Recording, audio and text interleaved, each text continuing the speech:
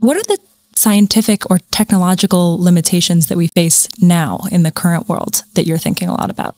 Well, everything in the end is about how much work you can get done within the limitations of the energy that you have. That's a physical limit. And uh, the laws of physics uh, about transporting information and um, transporting bits, flipping bits and transporting bits.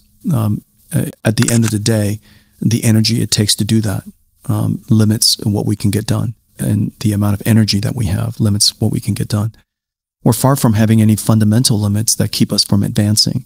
In the meantime, we seek to build better and more energy efficient computers. This this little computer, uh, the the big version of it was uh, two hundred fifty thousand dollars, baby digits. Yeah, this is an AI supercomputer.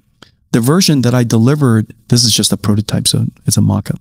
And so the the the very first version was DGX1 I delivered to OpenAI in 2016, and that was $250,000, 10,000 times more power, more energy necessary uh, than this version. And this version has six times more performance.